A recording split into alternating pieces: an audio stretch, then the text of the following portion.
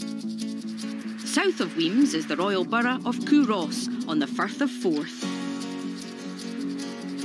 This picturesque town played an active role in the 16th to 18th century witch trials.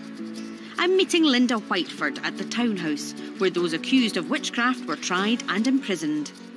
There's very little here that talks about the witch trials. Do people tend to go in here to look at where the witches were held? Is this a tourist mm, attraction? No, you can't really do that. And it, to be honest, it'd be a little bit disrespectful because these were ordinary people, men and women, mostly women, because you needed to shut them up. You didn't want them getting too political. Or to make money was to call somebody a witch because somebody had to pay for the torture for the confessions. And the longer the confessions took, the more the families had to pay. And the money went to the minister and the councillors. I firmly believe that if this kind of thing was happening now, I would be in danger because I'm a woman with an education, with an opinion, Didn't really want to marry a bloke. So I'd love to find out more. Can we go and find out some more? Absolutely. Did you go to church on Sunday? You're a witch. God, I thought my dad was phoning me. Sorry. In the 1600s, dozens of people were convicted of witchcraft in Culross. At times, so many were rounded up that the townhouse couldn't hold them all. Can I just warn you that some people just can't make it up the stairs because they feel that something is actually pushing them back and they're not meant to be going up there? Brace yourself.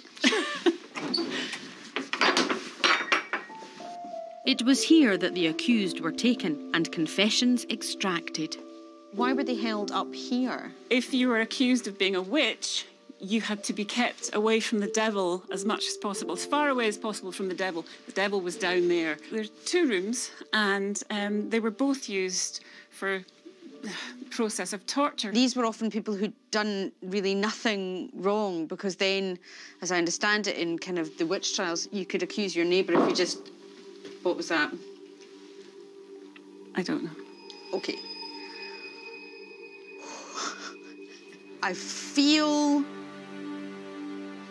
like you're going to cry. I feel like I'm going to cry, and I feel weird.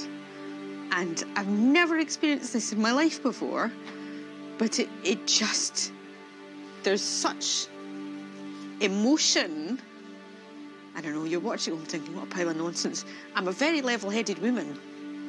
This place, literally, I'm hanging on for dear life, and I don't know what I'm hanging on for.